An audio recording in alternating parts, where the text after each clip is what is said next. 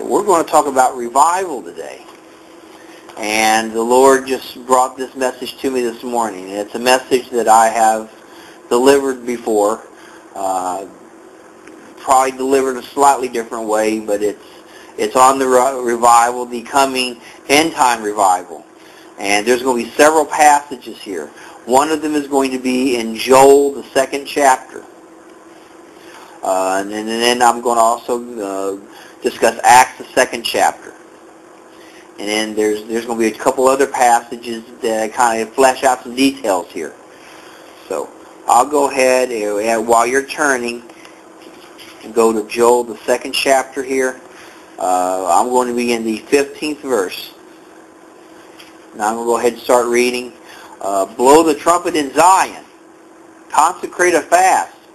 Call a sacred assembly. And that's really what I want to talk about today is a sacred assembly. Because God gave me a dream uh, last week, and that dream said, seek him. And we sang two songs, and we repeated them as our worship. Uh, the song Adonai by Paul Wilbur, and the song When We Think About the Lord. Because during that dream, those two songs kept coming up. And that was why last week we focused on just those two songs and the Lord has given me some additional revelation on that dream. He wants me to call people to sacred assembly. Uh, let's let's talk a little bit more about what that means. Gather the people, sanctify the congregation, assemble the elders, gather children and nursing babes. Let the bridegroom go out from his chamber, and let the bride from her dressing room. In other words, we in other words, drop what we're doing. It's that bad, we need to seek God. And that's where really where we're at a society, where we have a political election coming up and there are no good choices. The economy is a wreck. People have personal disasters going on in their lives. The world is in such shape that the Lord is our only hope. The urgency of the call is if you're a bride and you're in your dressing room waiting to go out to get married, postpone the marriage and go to the sacred assembly. It says here, let the priests who minister to the Lord weep between the porch and the altar. Let them say, spare your people, O Lord, and do not give your heritage to reproach, that the nation should rule over them. Why should they say among their peoples, where is their God? Then the Lord will be zealous for his land and pity his people. The Lord will answer and say to his people, and then there's going to be two answers that God gives. The first one is going to be a physical answer. He's, he's going to give physical blessings here. Behold, I will send you grain and new wine and oil, and you will be satisfied by them. I will no longer make you a reproach among the nations, but I will remove far from you the northern army and will drive him away into a barren and desolate land, with his face towards the eastern sea and his back towards the western sea. His stench will come up, and his foul odor will rise because he has done monstrous things. In other words, this is saying Israel would no longer be scattered among the nations anymore because this was a, a problem with Israel. They would sin and then they would get scattered. They would sin, then they would get occupied. And God was saying that's no longer going to be the case. This is part of God's pattern for restoring Israel, which when, when the Jews crucified Christ, the Jewish leaders did that Part of the punishment was that they were scattered among the nations for hundreds of years. In 1948, God began that program to restore them. That program is not done because most Jews are still in unbelief. But that, but the day will come when they will all be saved. They will accept Jesus as their Messiah. And so that program is still underway, but as, as God does that program, part of that is that they were no longer going to be scattered among the nations. He was going to drive away their occupiers. And even as we speak, there's talk of war in the Middle East, where we're living in dangerous times. But God has that promise that they will not be driven away. And he is calling on Israel, and he is also calling on the church to seek him in sacred assembly. It says here, Fear not, O land, be glad and rejoice, for the Lord has done marvelous things. Do not be afraid, you beasts of the field, for the open pastures are springing up. The tree bears its fruit. The fig tree and the vine yield her strength. Be glad then, you children of Zion, and rejoice in the Lord your God, for he has given you the former rain faithfully. And he will cause the rain to come for you, the former rain and the latter rain. And now we'll talk about the former rain. And the former rain, uh, and God is talking spiritually here. And we, we skip down to verse 28. It says, And it shall come to pass afterwards I will pour out my spirit on all flesh. The former rain happened in the books of Acts. In other words, there's two phases to this revival. The first one was in Acts, the second chapter. And, and in verse 1 where it talks about where Pentecost came and they were all uh, they were all in one accord in one place, and suddenly there came a sound from heaven as of a mighty rushing wind, and it filled the whole house where they were sitting. And there appeared to them divided tongues as of fire, and one sat on each of them, and they were all filled with the Holy Spirit, and began to speak with tongues as the Spirit gave utterance. Uh, this caused an uproar in town. People wonder what was going on here. Well, Peter gives the answer. In verse 14 of Acts 2, but Peter, standing up with the eleven, raised his voice and said to him, Men of Judea and all who dwell in Jerusalem, let this be known to you and heed my words. For these are not drunk as you suppose, since it is only the third hour of the day. But this is what was spoken by the prophet Joel. It shall come to pass in the last day, says God, that I will pour out my spirit on all flesh. The revival in Acts that started the church was the former rain. But we also see in Joel here, going back to Joel, that there was going to be a latter rain, where God was going to pour out his spirit on all flesh. And you read, and I'll, I'll finish the rest of the second chapter. Shall come to pass afterwards, I will pour out my spirit on all flesh. Your sons and your daughters shall prophesy, and your old men shall dream dreams. Your young men shall see visions. Also on my men servants and my maid servants I will pour out my spirit in those days. And I will show wonders in heaven and in the earth, blood and fire and pillars of smoke. The sun shall be turned to darkness and the moon to blood before the coming great and awesome day of the Lord. Now in the first revival in Acts, we didn't see the blood and the smoke and all that stuff. We saw the Holy Spirit being poured out. We saw people prophesying. We were prophesying. We saw people laying on hands and people getting healed. We saw all kinds of supernatural things that God was doing with his people. And we didn't see the blood and the fire because the blood and the fire and the billows of smoke are supernatural signs of judgment. And the former rain that started the church was the beginning of the ministry of reconciliation. It was God's purpose and act to send the church out to the world to tell them the good news that Jesus Christ died on the cross for their sins. That even though we've all sinned and that sin deserves death, through Christ's death on the cross, we can be redeemed. We can be reconciled to God. We can have that child-father relationship with God. We don't have to face him as a merciless judge who's going to sentence us to the full extent of the law, but a loving father. And it's because of Jesus' death that when we stand before God, we can face a loving Father rather than a stern judge. Because Jesus paid the price. But as we go towards the end of the church age, as we start, history starts wrapping up, there's going to be a latter rain. But the latter rain is about finishing what the former rain started. So because of that, there's going to be blood, there's going to be fire, there's going to be billows of smoke. All these things are things that we're seeing in Revelation. And the book of Revelation is basically one big church service as we praise God, as we proclaim God's word, as we pray, judgments fall.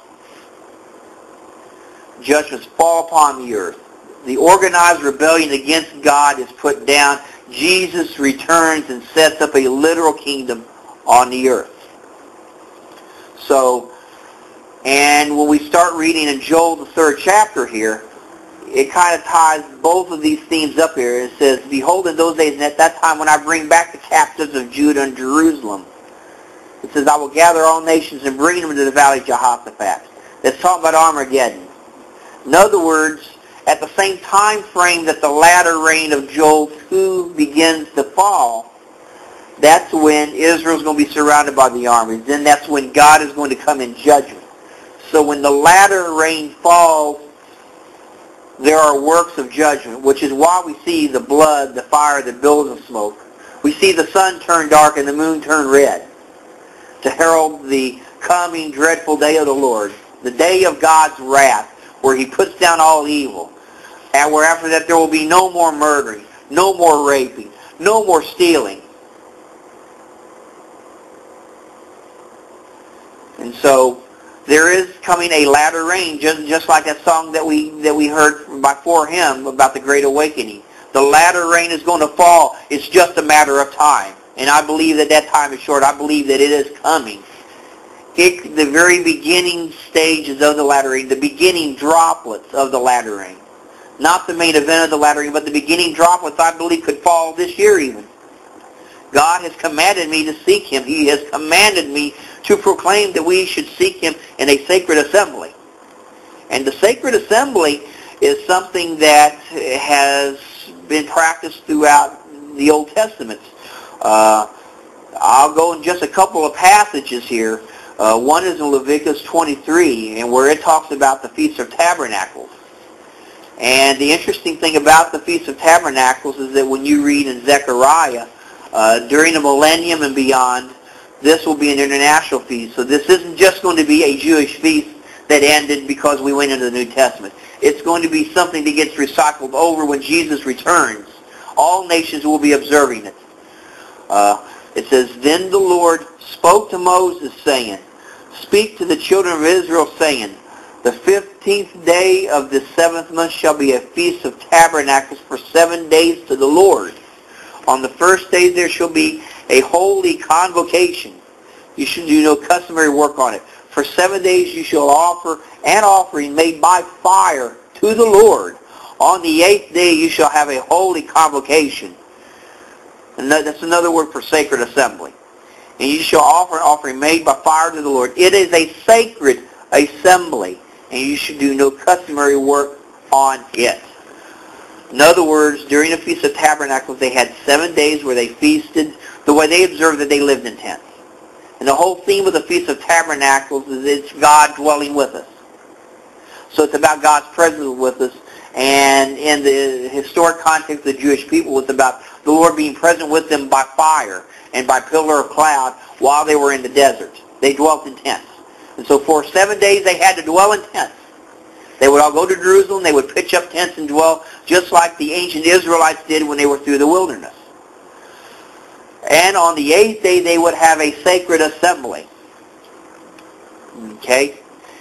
Now we see such a sacred assembly occur in 2 Chronicles 7 when Solomon dedicates the temple. When Solomon had finished praying, fire came down from heaven and consumed the burnt offering and the sacrifices.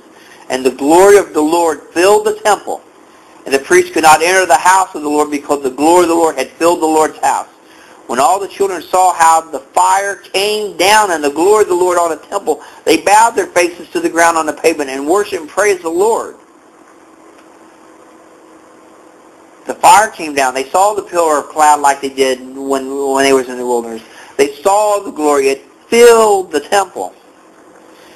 And in verse 8 it tells us a little bit about it. It says, And Solomon kept the feast seven days, and all Israel with him, a very great assembly from the entrance of Hamath to the brook of Egypt. And on the eighth day they held a sacred assembly, for they observed the dedication of the altar seven days and the feast seven days. And on the twenty-third day of the seventh month he sent the people away to their tents, joyful and glad of heart for the good that the Lord did for Israel. So there's a pattern here. Seven days of Feast of Tabernacles. Eighth day solemn assembly. Seven days of seeking God, eight days sacred assembly. Seven days of seeking God, eight days of eight days sacred assembly. Now, some people may think, well, this is just the Old Testament. What does that have to do with today? Well, it has a lot to do with today. Because when the disciples waited in the upper room, they followed this pattern. Let me do some math here. Jesus died on the cross. From his death on the cross to Pentecost was 50 days. He rose to dead on the third day. Then he was on the earth. He walked the earth for 40 days, according to the scriptures. On the 40th day he came up. Counting that third day, 3 plus 40, would be 43, but counting that third day, it's 42. So on the 42nd day after Jesus died, he ascended into heaven and they went to the upper room. That's when their prayer meeting began. 42, seven days, 42nd through the 49th day, they sought God. They prayed. The eighth day of their prayer meeting, there was a sacred assembly. The fire of God came and it started the church. This is what God wants of his people today. He wants us in this latter day, and it's been nearly 2,000 years since the church began, but he wants to pour out a revival like the one in Acts. He wants us to seek him in a sacred assembly. And I don't know how I'm going to get everyone together yet, but he has given me that burden to put the message out there. And this day is the launch of it. And this message that he has given me today is the launch of it. We are to seek the Lord in sacred assembly. And this is not just something that's going to happen at Zion's Hill or First Baptist or this other church over here or the Bridge Community Church. This is something that God is calling and the entire Christian community. A sacred assembly in every community being that we live in the greater Louisville metropolitan area, I have a particular burden for the Louisville metropolitan area, but also a burden that as the folks in Louisville seek God, that this will be happening in cities all over the country, and not just in America, but all over the world. The time is short, and God is ready to move. And I have that burden to, to move and to seek him and to lead as many as I can persuade you to do that. And motivate them so that they will, they will lead others. And it, a very small seed, from a very small seed, you can produce a huge crop. A seed produces more seeds, which produces more. So many generations you have millions of seeds. And that's the burden that I have, and that's why I will conclude this message with today.